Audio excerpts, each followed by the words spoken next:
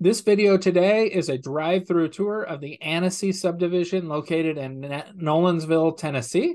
So if you're interested in purchasing a new construction or an existing home in and around uh, the Middle Tennessee, Nashville area, Nolensville is a great location. This is one of the top subdivisions. It's got like a dog park uh, that they're building in it, and a pool, and another little park area. This is a hot subdivision please reach out to me. I can be reached via text, via phone, via email. Uh, the only way that I can help you is for you to, to reach out. And here's the rest of the video.